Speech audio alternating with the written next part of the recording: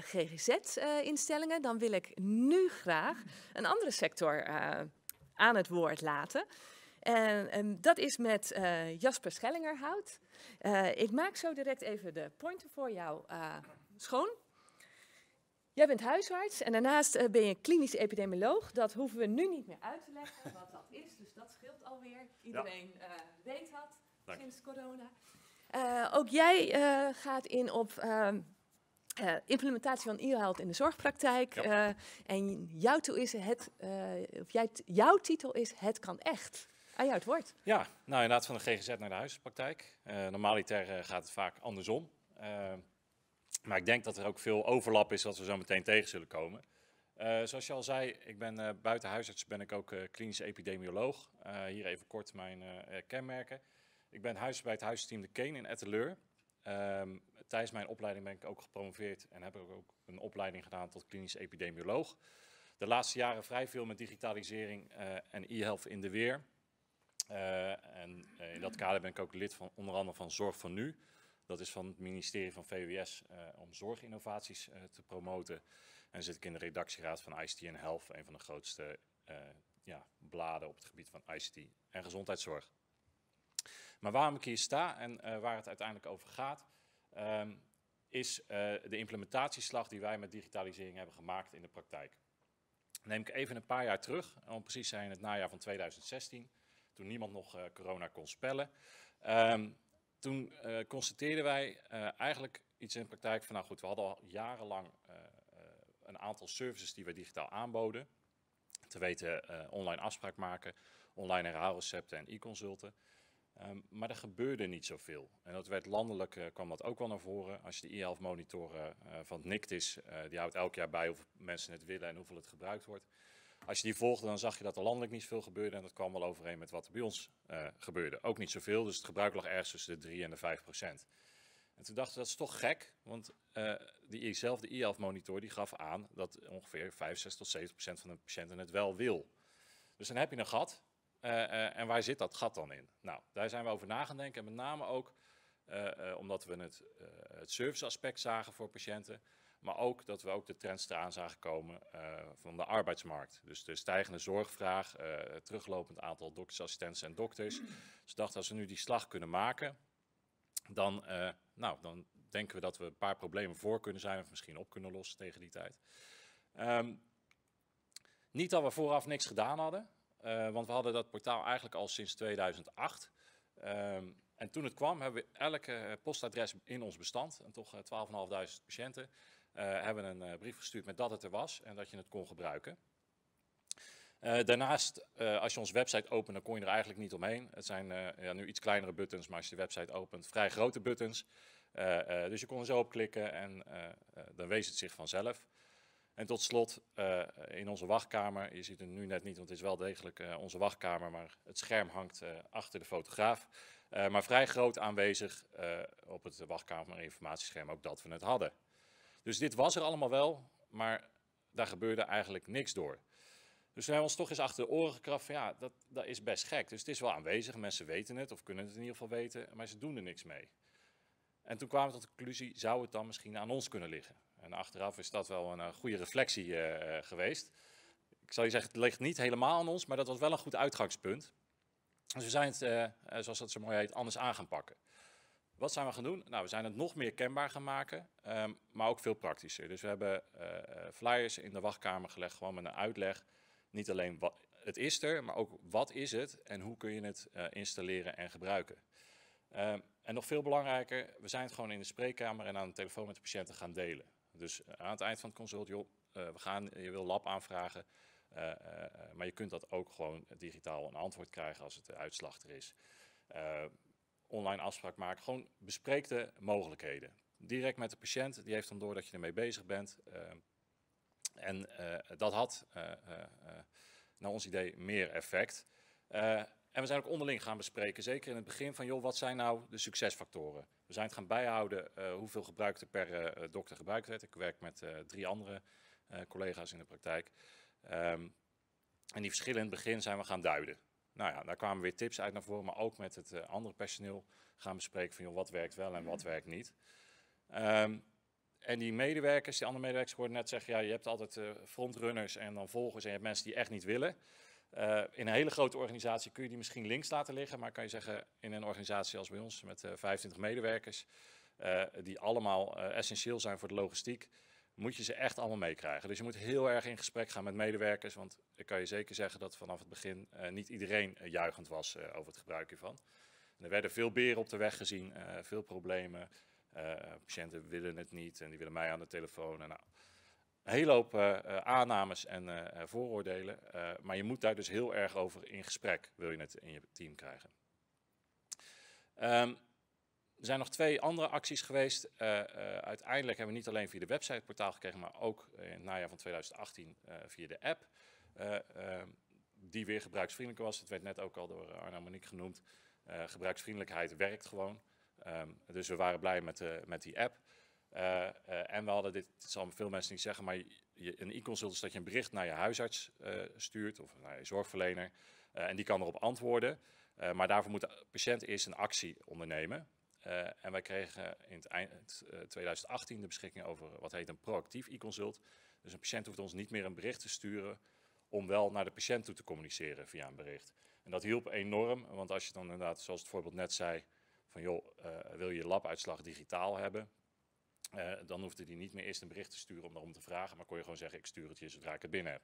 Ging een stuk sneller en hielp uh, een heel eind in de communicatie. Nou goed, behoorlijk wat acties ondernomen. Maar had dat dan ook resultaat? ja, ik zou bijna zeggen, ja, anders stond ik hier waarschijnlijk niet. Um, maar om even in, in een grafiek aan te geven, ik zei al, er zijn landelijke cijfers die jaarlijks gemeten worden. En je ziet hier de jaren 2016 tot en met 2019. En dit gaat puur over online afspraken maken. De bovenste blauwe lijn die je ziet is het aantal patiënten dat jaarlijks zegt van nou, uh, uh, ik wil het wel. Wat zoals ik al aangaf ergens tussen de 60 en 70 procent jaarlijks ligt. Um, de onderste lijn, dat is de landelijke lijn, dus het gemiddelde aantal afspraken dat ook online gemaakt wordt. Of patiënten die aangeeft online afspraken te maken. En de groene lijn, dat is die van ons. Um, uh, en je ziet dat wij dat gat aardig aan het uh, dichten zijn. Dat is 2019. 2020 zijn er nog wel een paar andere dingen veranderd natuurlijk. Um, maar het gat uh, lopen we inmiddels aardig dicht. Wat je hier ook wel ziet is dat we zijn wel eind 2016 daarmee begonnen. Maar het heeft wel een aanlooptijd om het goed op gang te krijgen. Je moet vooral eerst veel investeren in de communicatie is ook vrij logisch, omdat niet een patiënt komt wel ongeveer vier keer per jaar langs, gemiddeld. Um, uh, dus als je het nu iemand uitlegt en je wil het gaan gebruiken, is de kans dat hij het pas over drie of zes maanden überhaupt gaat gebruiken. Er zit een soort vertraging in en je moet best wel wat energie erin steken om het voor elkaar te krijgen. Getalsmatig ziet dat er zo uit. Dat gaat niet alleen over de online afspraken, maar ook over de andere services die ik noemde. Toen we dus startten, hadden we, was al bijna een kwart van de patiënten had al een online account. Alleen bijna niemand deed er wat mee. En je ziet het aantal uh, unieke gebruikers inderdaad stijgen door de jaren heen. Inmiddels zijn we ruim over de helft heen. En je ziet eigenlijk de activiteiten, dus de online afspraken en e-consults, daarbij meestijgen. Um, en niet alleen zie je ze stijgen, uh, maar wat ook wel interessant is als je goed naar de getallen kijkt, is dat in het begin maar een kwart van de mensen met een portaal er gebruik van maakten. Um, en dat nu uh, 80, 75, 80 procent is. Dus het is niet alleen dat die mensen een account hebben, maar ze maken ook actief gebruik van. Wat betekent dat ze er toch wel uh, iets vinden wat ze zoeken, want ze worden niet verplicht. De originele methodes zijn er ook nog. Er zit nog steeds een assistent aan de telefoon. Um, uh, maar blijkbaar ja, zit hier toch een voordeel in voor de patiënt. Wat op zich vrij logisch is. Maar dan moet je wel aan een paar dingen houden. Wil het een voordeel zijn voor de patiënt? En dat is hetgene waar ik zei toen we gingen kijken naar zijn wij de beperkende factor. Toen kwamen we wel een paar dingen tegen. Uh, want wat leerden we zoal? Nou, even per onderdeel toch om het wat overzichtelijk te maken en wat praktischer. Als je online een afspraak neemt en in mindere mate het herhaalrecept. Kijk, er zit een groot voordeel aan voor een patiënt. Het is 24-7 beschikbaar. Werd net ook gevraagd van hoe doe je dat dan met die tijdsonafhankelijkheid. Nou, een afspraak kun je ook midden in de nacht maken. Dus je hebt buikpijn. En ik heb meerdere patiënten zei, ja, vannacht had ik opeens heel erg last. Toen dacht ik, ja, zal ik de huispost bellen? Toen keek ik en kon ik om tien voor half negen terecht. Ik denk, nou, dan maak ik gewoon een afspraak bij u. Um, maar ook in het weekend. Een heel groot deel van de afspraken wordt in het weekend al geboekt. En niet op maandagochtend uh, tussen 8 en half 10 in de wachtrij. Ehm, en dat is meteen het volgende punt voor ons kant, het verlaagde telefoonbelasting. Waar we vroeger uh, tussen 8 en half 10 op maandagochtend inderdaad waren de assistenten aan het harken. Om het allemaal gedaan te krijgen en tegen de wachtrij aan het opbellen. Nu om tien over acht is het wel zo'n beetje gebeurd. Dus er zit zowel voor de patiënt als voor de uh, zorgverlener een voordeel aan. En inhoudelijk is prettig dat bij een online afspraak de hulpvraag al vaak door de patiënt geformuleerd is. Het zijn zijn eigen woorden of haar eigen woorden niet een vertaling van een slag van de assistenten, maar gewoon van de patiënt zelf, waardoor je vaak al een hoop informatie hebt voor het consult begint. En heel praktisch het ook qua vastleggen van de gegevens wat tijd scheelt. Maar je moet dan natuurlijk wel een paar dingen doen. En de eerste is denk ik het belangrijkste. Je moet ruimte beschikbaar maken in je agenda. En dan zul je zeggen, nou ja goed, dat is er toch. Uh, ja, maar het grootste deel van mijn collega's heeft toch wat moeite met het zomaar openstellen van de agenda hiervoor. Je ziet ook nu in de coronatijd hebben ze al die agendas dichtgegooid. En er zit één heel belangrijk ding aan, dan zetten ze het wel open, maar wat later. En ik zeg altijd, als ik nu online een afspraak ga boeken en ik kan over drie dagen terecht en ik bel naar de assistenten en ik kan vandaag of morgen terecht, ga ik nooit meer online kijken. Dus je, wordt, je moet wel gestimuleerd worden en niet achtergesteld. Dus je kunt het ook in je voordeel gebruiken, zeker om het op te starten, door uh, juist uh, plek gereserveerd te houden uh, voor de online afspraken, waardoor je net een klein beetje voordeel biedt aan de mensen die het online willen. Maar in ieder geval dat ze niet achtergesteld worden. En je moet dat natuurlijk, dat is het laatste punt, ook het aanbod aanpassen op de vraag. Kijk, als je nu zegt, ik blokkeer mijn hele agenda voor online afspraken terwijl je nog niemand hebt, ja, dan kom je wel in logistieke problemen. Maar met name ook als op een gegeven moment het aanbod groeit, dus het aantal patiënten dat gebruikt groeit, moet je gewoon meer plekken in je agenda daarvoor uh, reserveren en daar handig mee omgaan. Vergelijkbaar verhaal voor de e-consulten. En nou, daar zit echt een groot voordeel in de logistiek. Je had heel veel lagen ertussenuit. Een uitslag komt binnen en ik doe er wat mee. Waar vroeger belde de patiënt naar de assistenten of die binnen was. En dan was het ja of nee. En als het nee was, belde die nog een keer. En dan was het terwijl, die ging met mij overleggen. Ik gaf het weer door aan haar, zij weer aan de patiënt. Die was er dan niet. nou goed, het is een hele keten. Waar je nu gewoon een uitslag binnenkrijgt, een bericht stuurt en je bent klaar. Van de andere kant op, dus e-consulten van de patiënt naar de zorgverlener. Uh, veel enkelvoudige vragen vervangen gewoon een consult of een telefoontje. En nou, een telefoontje is een ander soort communicatie, misschien qua tijd anders. Maar met name ook een consult helpt enorm. En niet alleen voor de zorgverlener, maar zeker ook voor de patiënt. Want het is een wijdverbreid misverstand dat patiënten de hoogste haalbare factor is dat je langs mag bij de dokter. Nou, ik ken een hele hoop mensen die daar helemaal geen behoefte aan hebben en die hun vraag liever zo effectief en efficiënt mogelijk beantwoord krijgen. Dus we merken ook dat patiënten heel creatief worden in een vraag stellen, zodat die zo goed geformuleerd is en eventueel met een foto kan tegenwoordig bijgevoegd worden, dat je gewoon een antwoord kan krijgen en ze niet langs hoeven komen. En dat werkt weer aan twee kanten als voordeel. En wat voor beide kanten voordeel is, hetzelfde moment van beantwoorden kiezen. En eigenlijk ook van de vraag stellen. het tijdsonafhankelijke werd al genoemd, maar met name ook het asynchrone. Als ik gewoon s'avonds denk, oh ja, dat wilde ik aan mijn dokter vragen, stuur ik een bericht en dan beantwoord ik hem als zorgverlener de volgende dag op een moment dat het mij uitkomt. En niet per se tussen 1 en half 2 of van 2 tot kwart voor 2. maar gewoon als het mij uitkomt. En als je s'avonds uit je werk komt of wat dan ook, je kunt het lezen op een moment dat het jou is geschikt. Dus er zit een heel voordelig communicatiesysteem in. Dan moet je uiteraard wel de moeite nemen om iets binnen een werkdag te beantwoorden. Want als je drie dagen gaat wachten, dan gaat iemand toch bellen, waar blijft mijn antwoord nou? En meestal is een vraag misschien niet urgent, maar is het wel handig als je gewoon netjes antwoordt. En wat betreft de uitslagen moet je tijdens een consult wel meer voorbespreken. Officieel moet je dat natuurlijk ook wel. Uh, maar nu moet je ook echt aangeven, nou als we dit, dit eruit komt, gaan we beleid A doen. En als dit eruit komt, beleid B. Zodat je ook kort kan antwoorden, want anders moet je nog op en neer gaan communiceren. En je wil het in één antwoord uh, af hebben. Dus dat aan de praktische kant. er zijn een paar dingen die enorm geholpen hebben. En ik begon er al mee, eigenlijk is de persoonlijke ja, benadering naar patiënten toe, dat werkt gewoon enorm. En het werd net ook al genoemd, vraag het gewoon aan iedereen. Want je weet niet wie het wil en wie het kan. Ik bedoel, er zijn 30-jarigen die het niet willen en we hebben uh, een patiënt van 96, die kan er heel erg uh, prima mee omgaan, is ook ontzettend tevreden mee. Dus ga daar gewoon over in gesprek en kijk uh, bij wie het past. Daarnaast heeft de app heel erg gewerkt, inderdaad vanwege de gebruiksvriendelijkheid. In plaats van twee-factor authenticatie via de website, wat, wat ingewikkeld was met spamboxes en zo, kun je nu gewoon met vijf cijfers een eigen pincode kiezen en zit je in het menu. en zoals ik al zei, het proactieve e-consult heeft ook een hele hoop rompslomp weggenomen. Doordat je gewoon meteen een bericht naar de patiënt kan sturen, niet eerst een vraag moet laten stellen. Uh, ja, en de afhandeling van onderzoeksuitslagen is nu echt, mensen, vroeger was dat ook al wel een beetje, uh, maar die dachten altijd dat het drie tot vier dagen duurde voor een uitslag binnen was. En inmiddels hebben ze door dat dat eigenlijk ook vaak dezelfde dag nog is. Ik zeg niet dat wij ze dat niet wijsgemaakt hebben. maar nu kun je ze in ieder geval zodanig snel helpen door het meteen terug te communiceren. Ja, dan zul je zeggen dat is leuk, daar moet best wel wat energie in steken, maar wat levert het mij nou op? Nou, uh, zoals ik al noemde, is voor de huispraktijk echt verlaging van de telefoondruk. Uh, begrijp me goed, 50% van de tijd in een huispraktijk van adoptieassistenten wordt besteed aan, aan de telefoon. Um, dus het verlagen van die telefoondruk, die bij ons inmiddels, we hadden ongeveer 1300 telefoons per week, dat zijn er nu net iets meer dan 1000 gemiddeld, die is aannemelijk.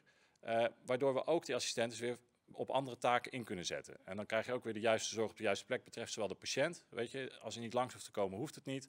Maar ook de assistenten, eh, als zij bepaalde verrichtingen kan doen, dan heb ik dat liever dan dat ze aan de telefoon zit als ze daar niet nodig is.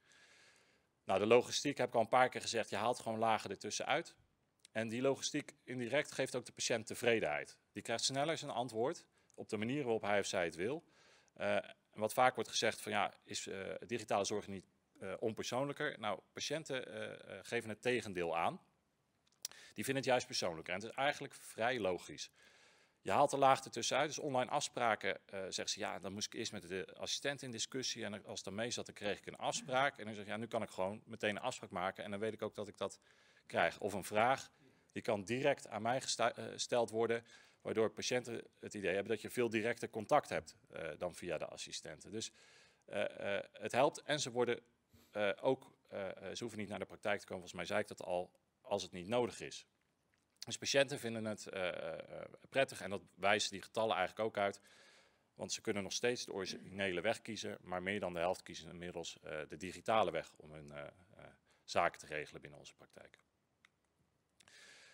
Wat waren nou de voornaamste aandachtspunten die we in dit implementatieproces hebben gedaan? Ehm, nou, met name dat je het dus in het zorgproces moet integreren. Als je het ernaast zet, of dat werd net ook al genoemd, of extra, dat levert niks op. Het moet iets, uh, win-win situatie, eigenlijk voor zowel de zorgverlener als de patiënt opleveren. En het proces effectiever maken. Maar je moet wel echt een cultuuromslag teweeg brengen. Daar waar je net niet iedereen mee hoefde te hebben, bij ons moest echt de cultuur omgezet worden binnen de praktijk. Je merkt dat als een assistent het niet wilde of een medewerker het niet wilde, dan zijn er veel mogelijkheden om het ook minder te laten slagen, zullen maar zeggen. Nou, de proactieve benadering wil ik nog een keer zeggen met patiënten. Dat, dat werkt gewoon, ga erover in gesprek. ik hoor heel vaak, ja, mijn patiënten willen dat niet. Ik vind dat altijd wel in ieder geval een uniforme groep patiënten. Maar de vraag is of dat de patiënten betreft of de behandelaar. Um, en de functionaliteit moet gebruiksvriendelijk zijn. Werd ook al genoemd in de GGZ. Het is denk ik ook allemaal veel vergelijkbaar. Ja, als het niet handig is of het loopt steeds vast, dan kom je nergens.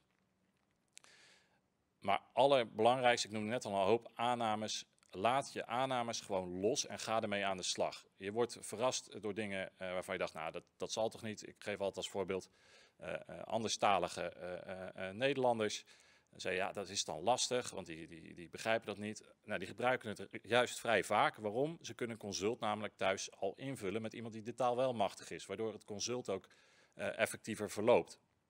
Of met Google Translate. Uh, maar ze gebruiken het dus vrij veel juist. Um, maar er zijn er nog veel en veel meer. Maar ga het gewoon doen en ga ermee aan de slag. En uh, op basis van je feedback van patiënten pas het proces aan en verbeter het. En als je dat dan allemaal doet, ja, wat ligt er dan allemaal voor je? En uh, ik denk dat dat nu de tweede golf afgekondigd is, geloof ik. We staan nu nog in een voetbalstadion, maar niet heel lang meer. wat, wat brengt dat dan, die digitale zorg? Nou, ik zei al, effectievere inzet van medewerkers. We hebben toch een arbeidsmarktprobleem dat de komende jaren in de zorg zeker ons parten gaat spelen. Laten we dan die medewerkers die we hebben op de juiste manier gebruiken. Ook zodat ze niet uh, vroegtijdig opgebrand raken en de sector verlaten, wat nog een stuk erger is. Um, Maar daarnaast, ik zei al, de tweede coronagolf komt eraan. dit was de eerste en dat is niet die eerste piek, want dat is de carnavalsvakantie, die piek naar beneden. Um, hier zie je um, onze praktijk. We hebben bijgehouden wat het aantal consulten was. Um, de gele lijn is het totaal aantal consulten, daarom zit er een piek naar beneden in de voorjaarsvakantie. Maar het dal daarna, dat is de coronacrisis. En wat je ziet is de blauwe balk uh, zijn het aantal fysieke consulten, uh, de oranje balk telefonische consulten en de grijze balk de e-consulten. Wat je hier ziet wat gebeurde in de coronacrisis en wat wij als voordeel hadden, wij deden al veel e-consulten voor een Nederlandse praktijk. Ik geloof we een 30 fouten of iets dergelijks van het gemiddelde doen. Um, maar toen de coronacrisis kwam, hadden wij er eigenlijk wat minder last van. Omdat we gewoon gingen verschuiven. Binnen onze praktijk was het normaal dat je van een van de drie communicatiestromen gebruik maakten. Waardoor uh, uh, we konden verschuiven van fysieke consulten naar andere consulten. Je ziet op een gegeven moment, moet je van me aannemen, dat uh, op de hoogtepunt, zowel dieptepunt van de coronacrisis, hadden we 15% nog maar over van de fysieke consulten. Maar was e-consulten gewoon leidend. Dus je kon het opvangen en uiteindelijk nog 60% van het aantal consulten doen. Dus je kunt hiermee een hoop ondervangen door gewoon te verschuiven in communicatiestroom. Nou, daarnaast, uh, self-management van patiënten is een uh, belangrijk uh, punt van aandacht. En er zijn gewoon al heel veel mogelijkheden. Hier zie je er een aantal, van thuisarts.nl tot die sofa. is een online psychologie, MMI guide voor diabetes. Moet ik naar de dokter wel bekend. Er is veel mogelijk, maar je moet het wel op een juiste manier aanbieden en patiënten naar geleiden. En als je het gewoon zo los aanbiedt, doen ze niks mee. Dus het moet in een geïntegreerde omgeving. Dus als je deze uh, bodem legt qua implementatie, dan zijn er daarna eigenlijk heel veel mogelijkheden die het leven nog aangenamer maken. Maar zelfs het implementeren van de basisservices, wat echt wel energie en tijd kost, daar kan ik niet omheen, leveren uh, wel effect op als je het maar volhoudt. En dan wil ik daarmee de ruimte geven voor vraag. Dankjewel Jasper. Ook weer een heel enerverend verhaal, wat heel mooi uh, aansluit op het uh, stuk van de GGZ. Uh, de chat staat open. en ehm, daar zie ik in ieder geval al een vraag die eigenlijk al binnenkwam op het moment van, of eigenlijk net nadat ik hem had gesloten. maar die werd gevraagd aan Monique, maar hij past ook heel erg bij jou. Want de vraag is van hoe doet een arts, kan een psychiater zijn, maar kan ook een huisarts zijn, nu zijn medisch onderzoek. En dat gaat dus doen, ze dat doen jullie dat online? Jij gaf al iets aan met een foto meesturen. Kun je daar iets meer van zeggen? Um, ja, nou ja, ten eerste bij een heel groot deel van de patiënten is helemaal geen lichamelijk onderzoek nodig. Want daar uh, beperkt dan even toe.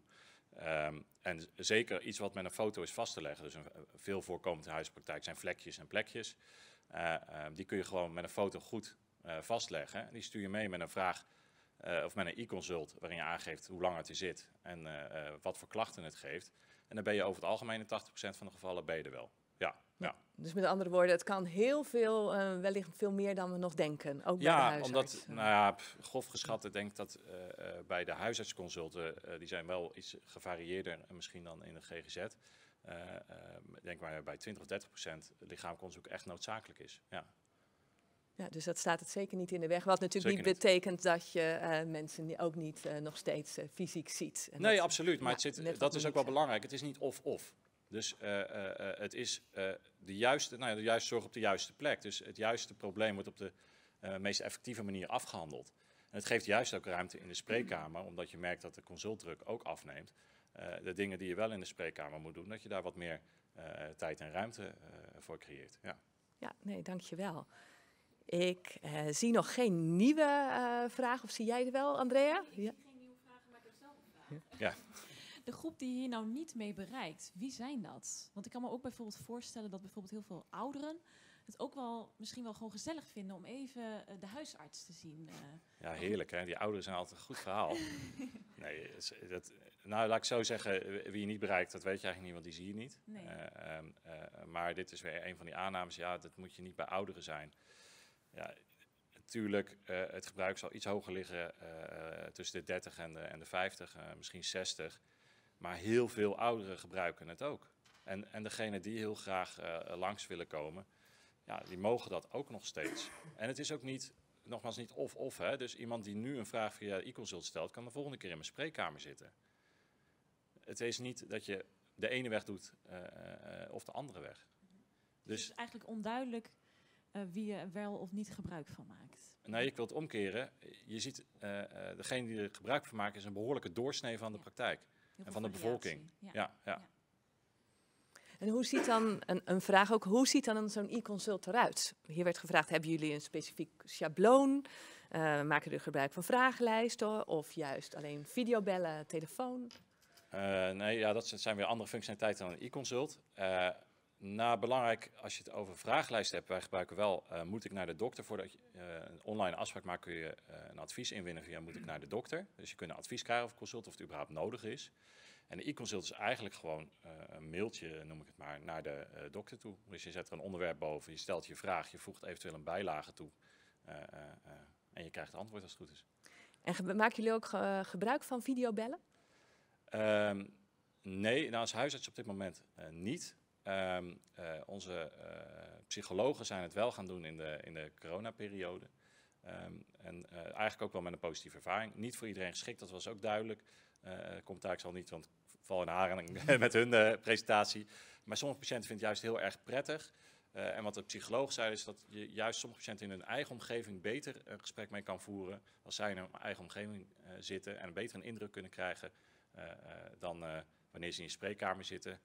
Anderen daarentegen weer niet. Maar dat is ook even een beetje aanvoelen en ja, aftasten. Ja, Net zoals uh, wat Monique zei, uh, one, one, size doesn't fit all. Uh, exact, exact. Maar ga vooral ook, en dat geldt voor al die dingen, ga gewoon met een patiënt over in gesprek en probeer het gewoon.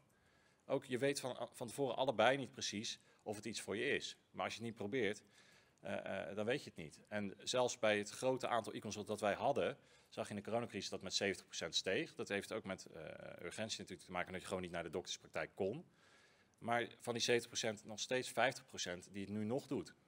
Dus die hebben het geprobeerd, het bleek goed te bevallen en die blijven uh, daarbij. Dus ja, weet je, het proberen is wel, en het verleiden om het te proberen is wel echt een, uh, een belangrijk punt. Ja. ja, dankjewel Jasper. Um, ik zie dat de tijd begint een beetje op te raken. Dat geldt wellicht ook voor de mensen thuis, dat er ook andere dingen op de agenda staan. Ik wil hem dan ook ja, hiermee afsluiten. Alle sprekers van harte bedanken, maar natuurlijk eerst Jasper zelf. Die heeft nog een applaus verdiend van ons en van jullie thuis.